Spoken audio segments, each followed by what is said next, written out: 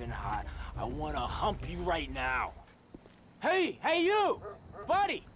Can you do us a massive favor? You want me to It's take a video, perhaps? birthday And us a ride, man. Uh, okay.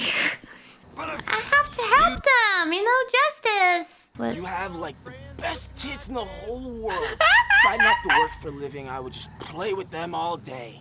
Oh, you're so bad. I'm oh, so that tickles. bad. Abby. Shift that sweet little ass over here. Let the wolf see the rabbit.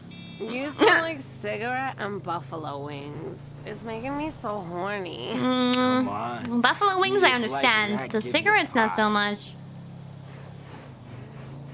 Oh, oh God! What? What? what? Yo, where?